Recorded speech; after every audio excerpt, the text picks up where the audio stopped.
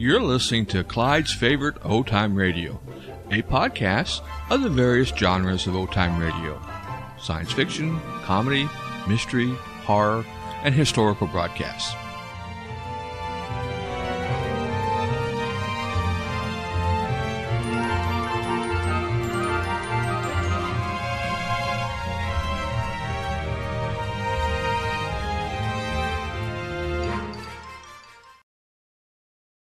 Hello, MPIR listener. This is Clyde J. Kell. Thank you so much for listening to Mystery Play Internet Radio.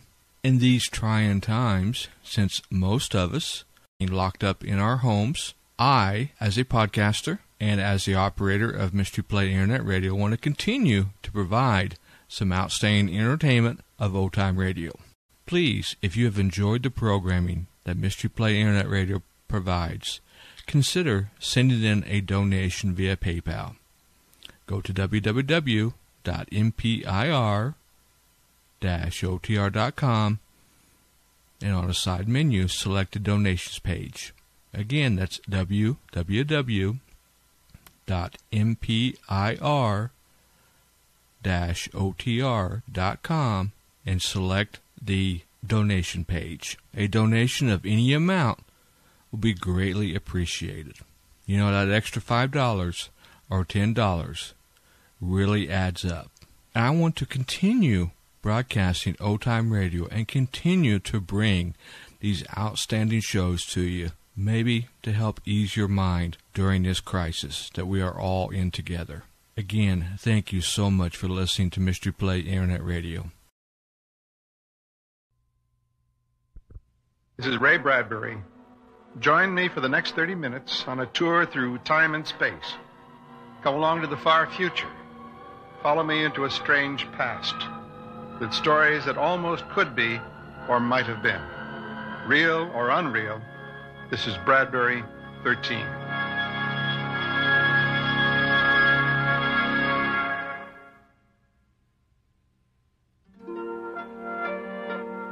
Margaret Leary is 10 years old and likes to play in the vacant lot on long summer days.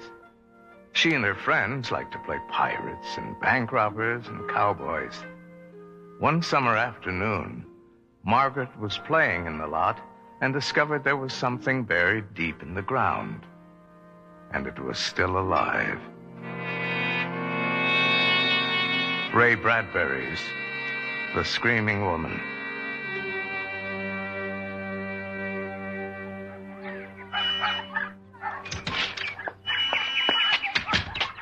Margaret Leary, and I'm in the fifth grade at Central School. I haven't any brothers or sisters, but I've got a nice father and mother, except they don't pay much attention to me. Anyway, we never thought we'd have much to do with a murdered woman. Or almost. When you're living on a street like we live on, you don't think awful things are going to happen, like shooting or stabbing or burying people under the ground, practically in your own backyard. You just go on buttering your toast or baking a cake. But I gotta tell you how it happened. It was noon on a steamy hot Saturday in the middle of July, and Mama came out the back door. Margaret, here's a dollar. Go to the store and get us some peppermint ice cream. Really? Yes, Daddy's home for lunch, so we'll have a treat. And bring back the change. I took the shortcut through the empty lot behind our house. It was a big lot with weeds and holes and broken glass and stuff. And on my way back from the store, I was hurrying along so the ice cream wouldn't melt. When all of a sudden, it happened.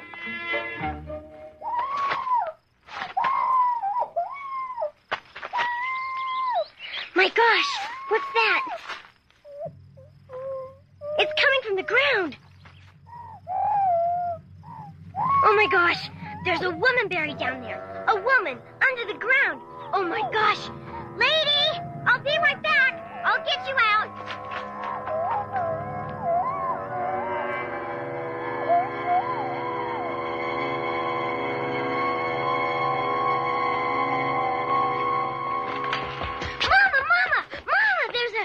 Stand there with the ice cream dripping. But Mama! Put it in the ice box.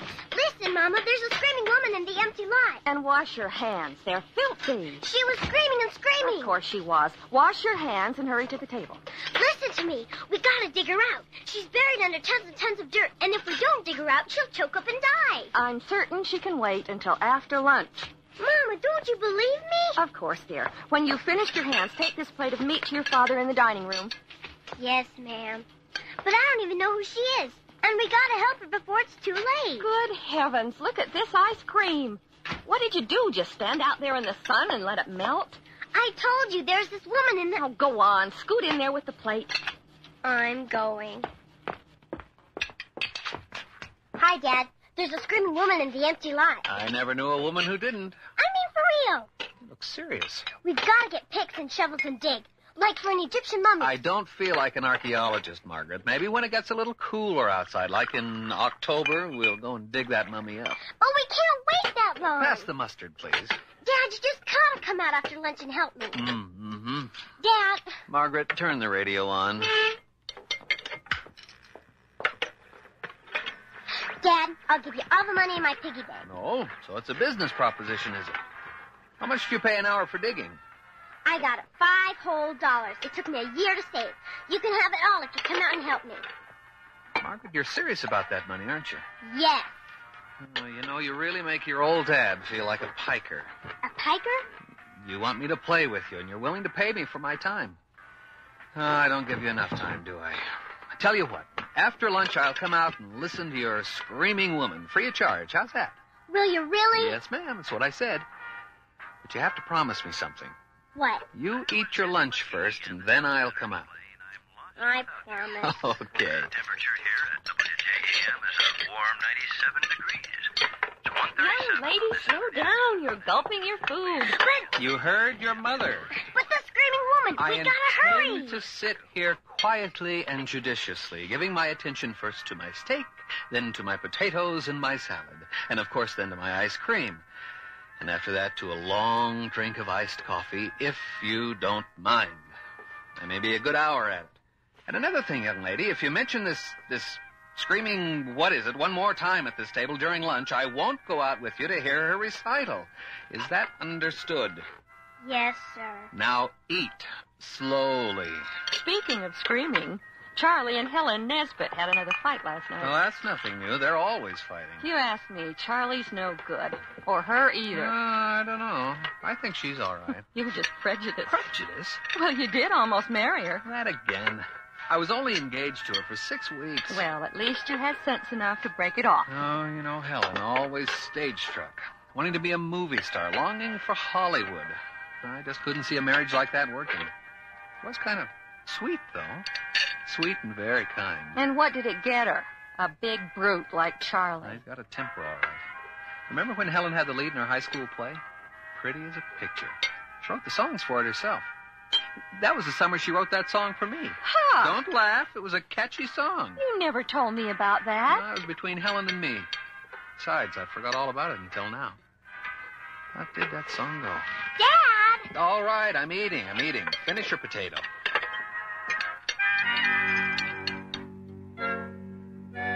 Finally, after the slowest meal in the history of eating, I took Dad out to the empty lot, where it was still hot and covered with old bottles and newspapers.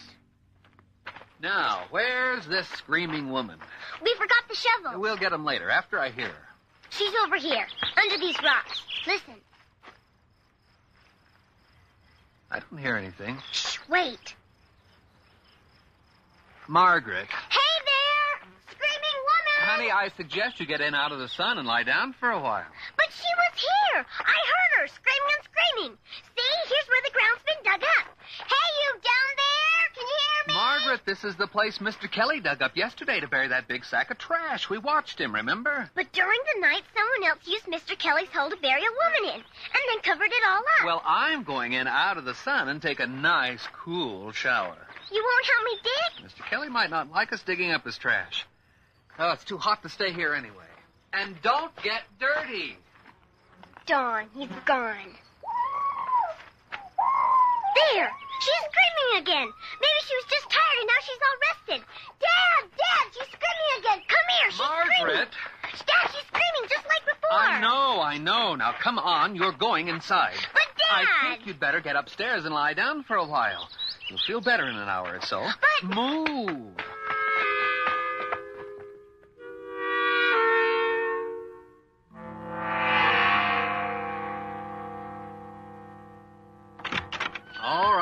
Hop in bed. But, Daddy, we can't let her die. She's all buried like that man in the story by Edgar Allan Poe. And think how awful it is to be down there screaming, and no one's paying any attention to you. You're going to lie there the rest of the afternoon and take it easy, and you're not to leave the house, understand? Now, close your eyes.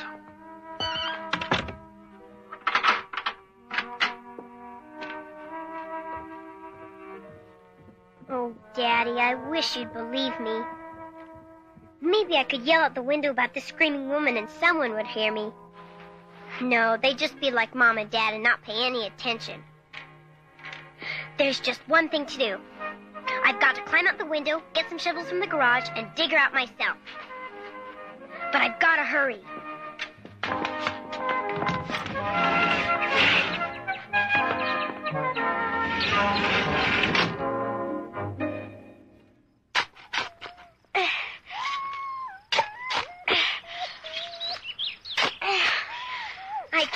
Any faster. It's too hot. I gotta rest. I didn't know digging was such hard work. Hiya, Margaret. Hi, Dippy. What are you doing? Digging. For what? There's a screaming lady in the ground, and I'm digging for her. I don't hear no screaming. Just sit down and wait a while, and you'll hear her scream. You could even help me dig while you're listening. I don't dig unless I hear her scream. There! Did you hear it? Hey, that's good, Margaret. Do it again. Do what again? The scream. The scream? Yeah, go on, do it. Here, look it. Do it again, and I'll give you my favorite marble, my brown Aggie. Hot dog. Can you teach me to do it? I don't. Did you get the Throw Your Voice book from that magic company in Texas? You got one of those tin ventriloquist things in your mouth? That's right, Dippy. And if you help me dig, I'll show it to you later. It's a deal. Give me a shovel.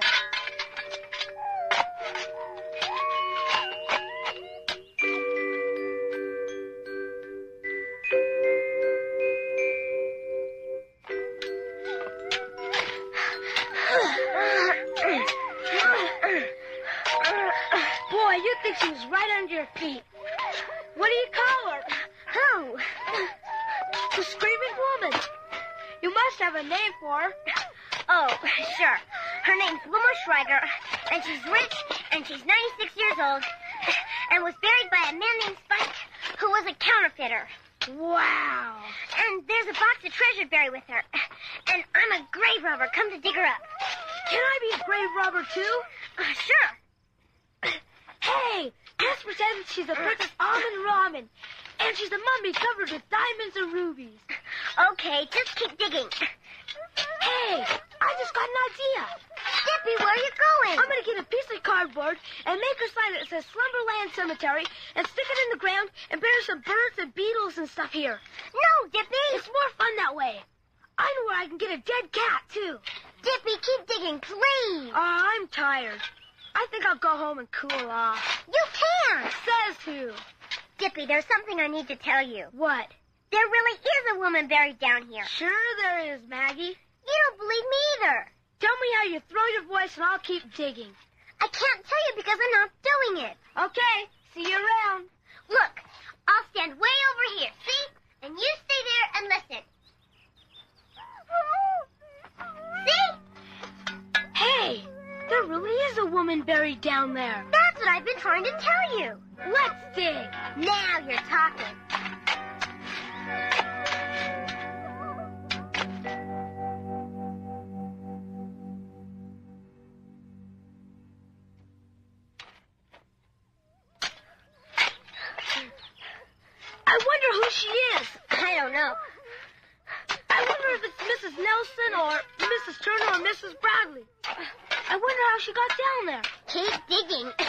Bet she rewards us for digging her up. Sure. At least a quarter apiece. More than that, I bet it's a dollar. I read a book on magic once, and there was this Hindu guy with no clothes on who got down in a grave and slept there 60 days and nights and didn't eat anything. Say, what if it's just a radio buried down there and we did all this for nothing? Well, a radio's nice. We could keep it. Hey, you kids, what do you think you're doing? Uh, Mr. Kelly, you scared the daylights out of me. Now, I'll tell you what I want you to do. I want you to take those shovels and put that dirt right back where you got it. You understand? But Mr. Kelly, there's a screaming woman down there. A screaming woman. Well, I don't hear anything. Well, just listen. Don't hear a thing. Now go on, fill it up. Get on home before I give you my boot. Yes, sir. Now, go on now. Hurry up. I'll be watching you from my window. He's the one. Huh? He murdered Mrs. Kelly and buried her here in a box. But she woke up after he buried her. Yeah, he stood right here while she screamed and said he didn't hear her. He lied to us. There's only one thing to do. What? We've got to call the police and have them come arrest Mr. Kelly. Come on.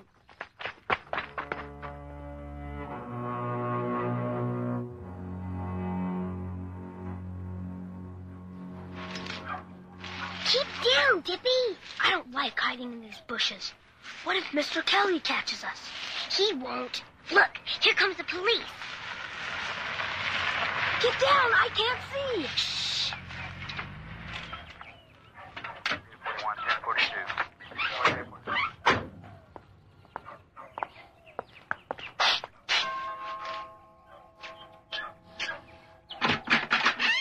Yes? Mr. Kelly, Yes. What can I do for you? is Mrs. Kelly at home? Yes, she is. Uh, may we see her, sir? Of course. Hey, Anna! Yes, what is it? I, uh, I beg your pardon, folks. Uh, we, we had a report that you were buried out in an empty lot, Mrs. Kelly. What? It sounded like a child made the call, but we had to be certain. Sorry for the inconvenience. It's those blasted kids. If I ever catch them, I'll. Maggie, let's get out of here! Run!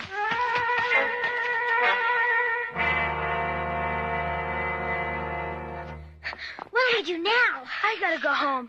Boy, we're really in trouble now. We'll get a licking for this. But what about the screaming woman? To heck with her. We don't dare go back to that empty lot again.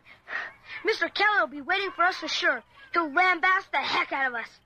Hey, I just remember something. What? Isn't old man Kelly sort of deaf? Don't he wear a hearing aid sometimes? Oh my gosh! No wonder he didn't hear a thing. Boy, we sure got into a lot of trouble over your dumb ventriloquist voice. I gotta go. Bye. Dippy! Dippy! Darn. Now what do I do? The police are after me now for lying to them. And my dad's probably looking for me by now, too. There's only one last thing to do.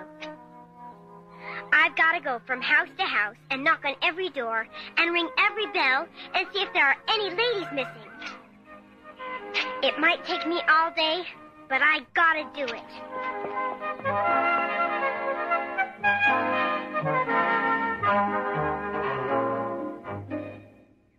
Boy, I'm pooped. Fifteen doors so far, and no luck.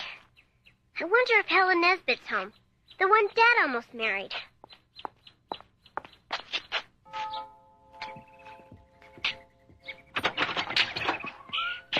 Yes? Mr. Nesbitt.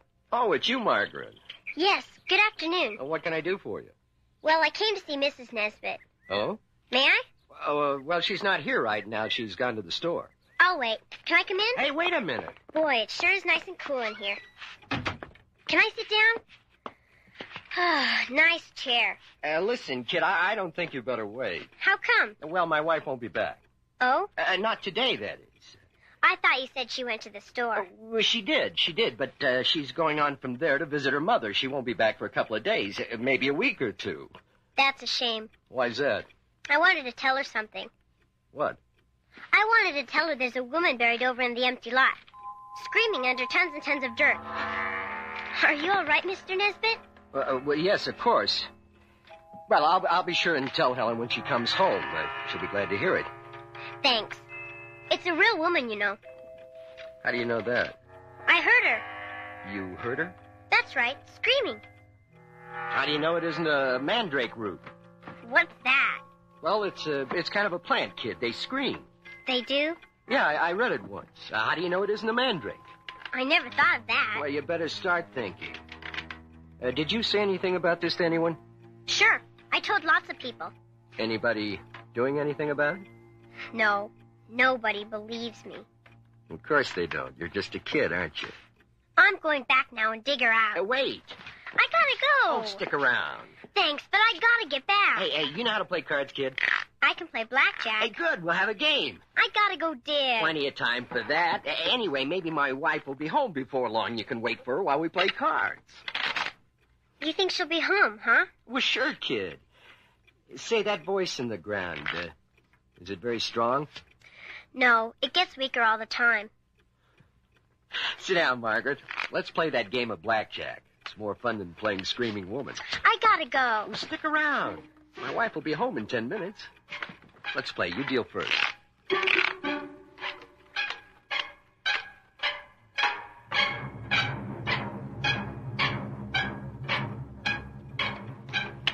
Well, your luck's holding. You win again.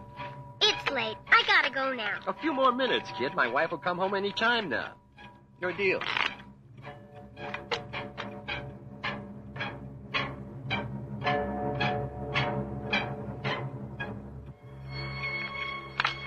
Well, it's getting dark. I guess you can go now. Guess you'll have to see my wife some other time, huh? Sure, Mr. Nesbit. So long, kid. Lady?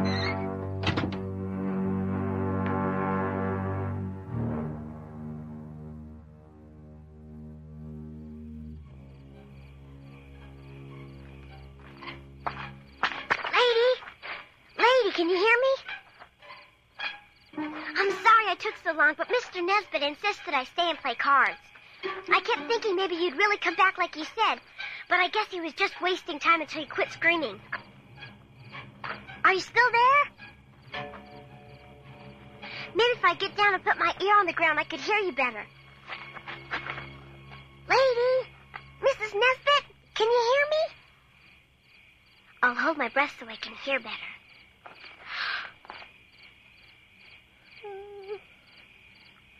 I loved you. I loved you well. Singing? She's singing. I. All those hours down under the ground in that box must have made her sort of crazy. You. Mrs. Nesbit, you'll be okay. All you need is some food and some air, and you'll be fine. Hang on, I'll get some help. Dad will help. I know we will. He used to love her once. He said he did.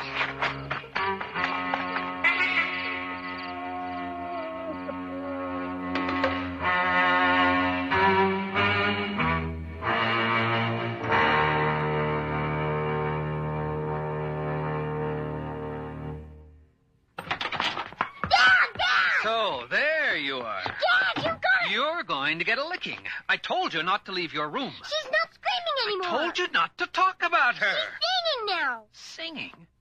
Why are you telling me these lies? Dad, she's out there and she'll be dead soon if you don't listen to me. She's out there singing. It's a little song like, I loved you fair, I loved you well. What did you say? I said, I loved you fair, I loved you well. Where did you hear that song? I told you out in the empty lot just now.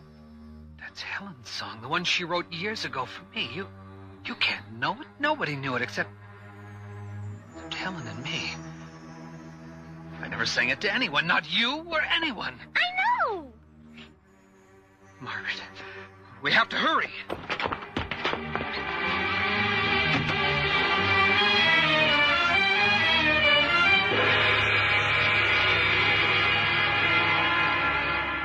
Now show me exactly where it was. Margaret.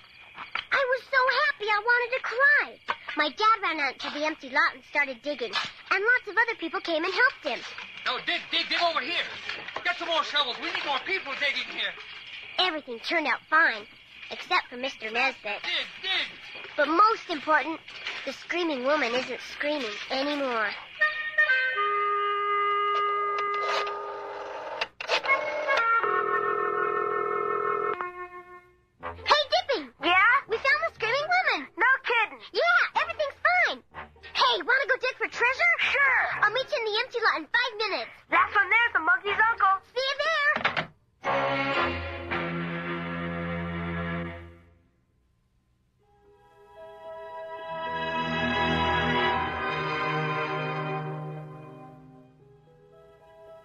The Screaming Woman was adapted from the story by Ray Bradbury.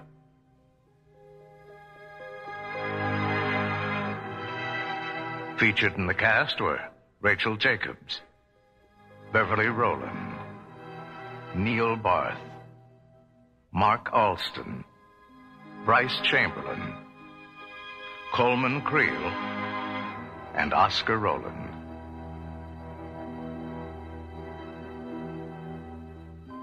Original music by Roger Hoffman and Greg Hansen. Production assistant was Patrick Mead. Associate producer was Jeff Rader.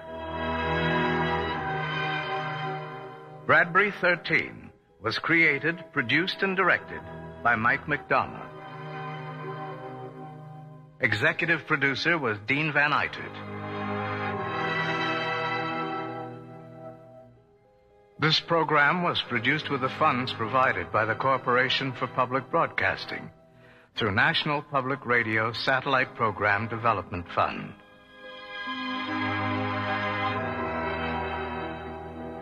The program was produced by Brigham Young University Media Services, which is solely responsible for its content.